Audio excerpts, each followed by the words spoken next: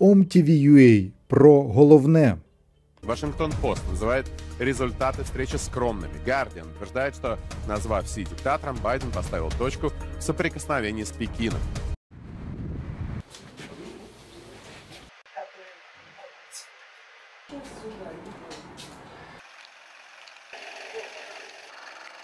Вчера пришел, попросил, получил.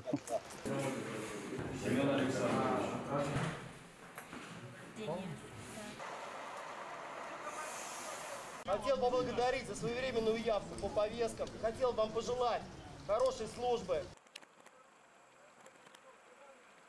А кто, если не мы, защитит наших детей, жен, матерей, сестер?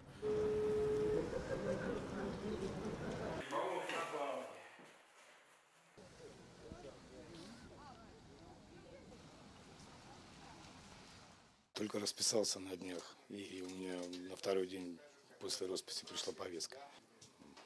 Деваться некуда. Поступила информация, что, понимая всю сложность ситуации, они отказываются идти на верную смерть. За отказ наших мужчин избивают и все равно отправляют в бой. Заходя на позиции, не дают выйти обратно и вывести раненых, обстреливают их. Наши мужчины вынуждены обороняться не только от противника, но и от своих же, которые должны помогать, а не убивать их.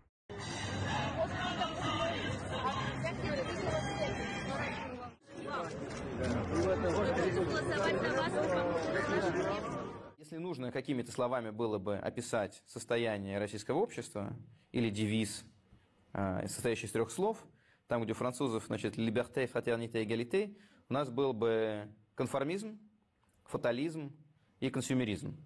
То есть люди, в принципе, хотят просто продолжать кушать, как кушали раньше, это их очень заботит, на первом месте, наверное. Э, Если власть говорит, что нужно зигануть, ну, они немножко зиганут. А если их загребут и отпр- ну, просто чтобы не выделяться, все же зигуют, как бы, ну что. А если власть их загребет вот так вот, просто какое-то ручище и кинет в мясорубку, то они, ну, пойдут, значит, в мясорубку. Но не потому, что они искренне ненавидят украинцев, и потому, что они искренне верят в то, что Запад напал, или что это экзистенциальная борьба, а просто потому, что у них нету сил внутренних бороться с системой, и они не знают как, и им проще и подчиниться. А когда их уже туда бросили, им нужно себе объяснить, что это не просто они безвольное лошье, а что они идут на войну, потому что в этом есть некая моральная основа, потому что они родину защищают, потому что своих не бросаем. Тут государство им подкидывает э, какие-то пропагандистские аргументы для того, чтобы им проще было себе объяснить, за что они пошли умирать. группа родственников мобилизованных скоординировалась между собой в разных городах.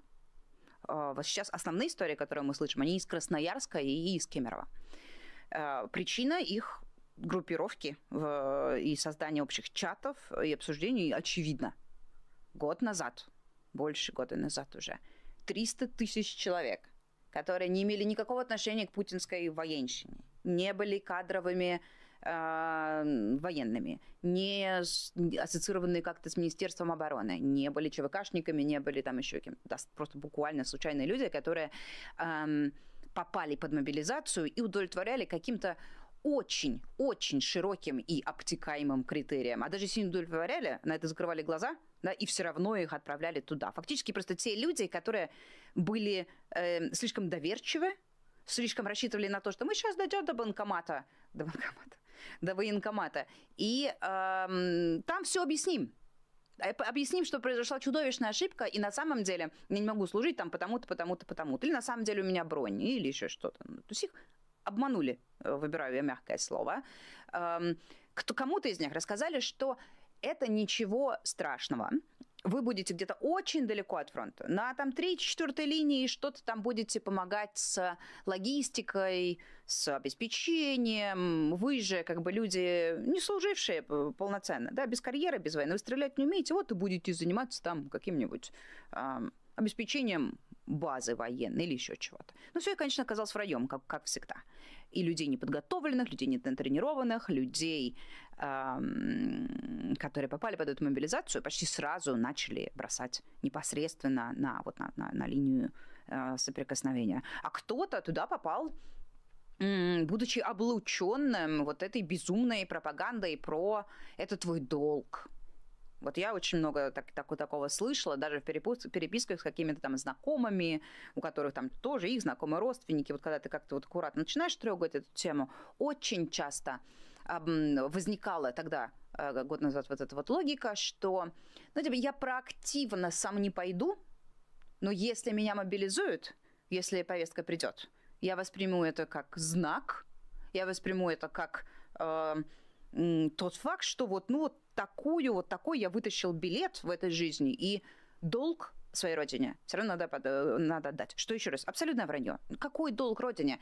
Долг родине нужно отдавать, когда на твою страну нападает кто-то, твоей жизни, жизни твоих близких, твоих э, сограждан, вот, вот, вот, есть какая-то реальная угроза. Вот тогда, конечно, да.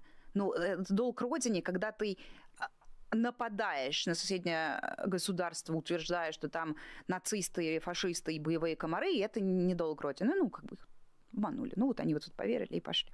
Но прошел год, больше года, сентября прошлого, а, в сентябре 2022 это все началось.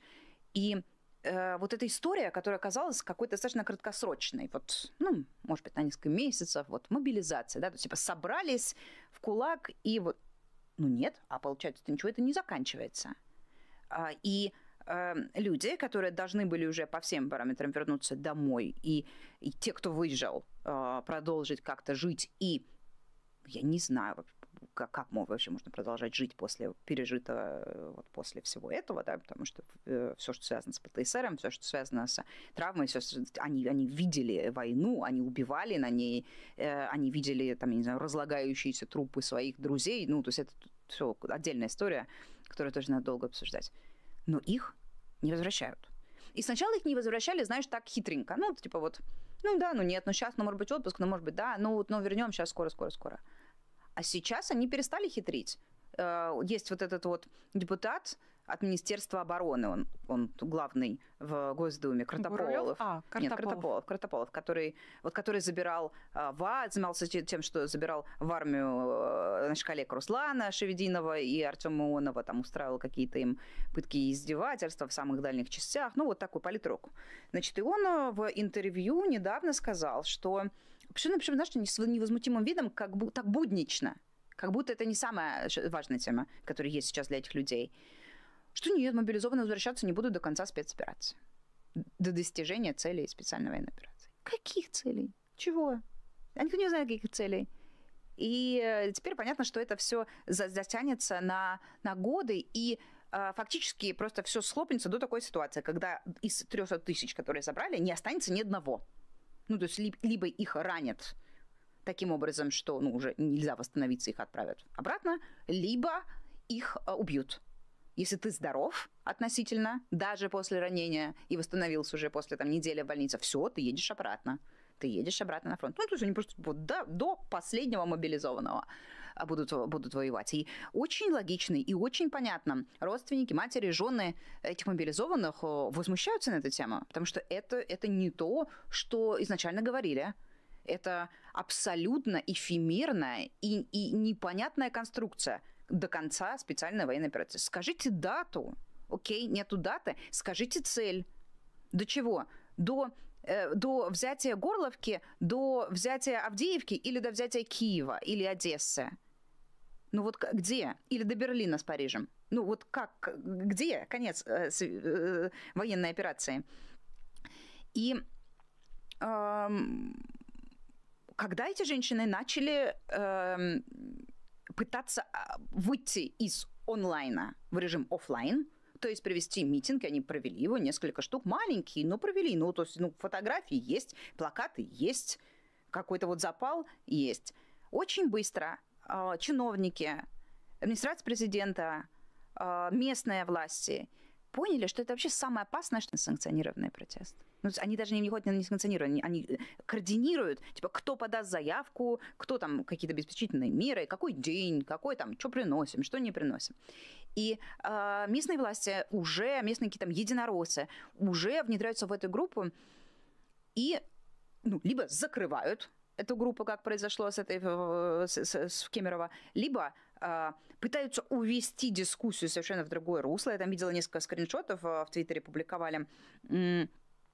Ну, вот из серии какая-то помощница депутата, которая вот интегрировалась в эту группу и стала связующим звеном с администрацией, э, а, она как бы говорит, ну, окей, мы просим согласованный митинг, а если не согласуют, то все, молчим мы типа вот не, не пойдем против.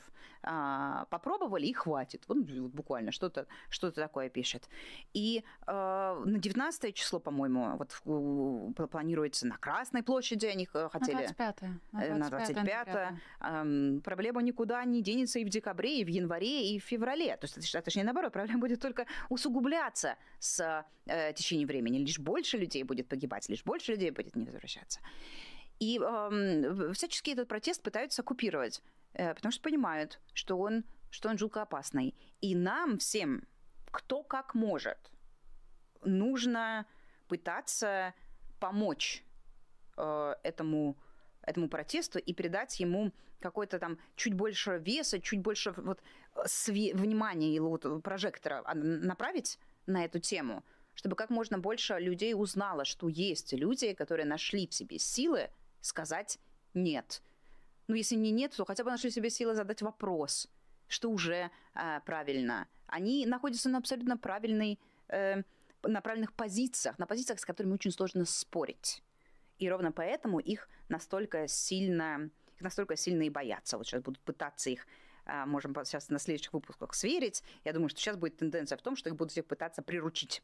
То есть посадить всех-всех возмущенных матерей, координаторов этих групп за круглые столы с «Единой России», за круглые столы там с кем-нибудь, Путин потом с кем-нибудь встретится, как он с матерями встречался а, до этого, и их будут пытаться как бы, ну, вот посадить на какую-то короткую цепочку, что вроде как бы вот они есть, но тем не менее они полностью контролируемы. А если это не получится, то там вот по нашей схеме, я думаю, понесутся э, с экстремизмами, с посадками, с, со всем прочим.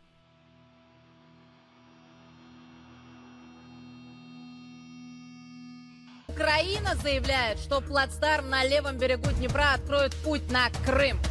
По информации агентства Reuters, численность украинских войск на их якобы новом плацдарме несколько сот человек. Фиксированным визитом сегодня нагрянул новый глава МИД Британии Кэмерон. Сделал он это спустя всего два дня после назначения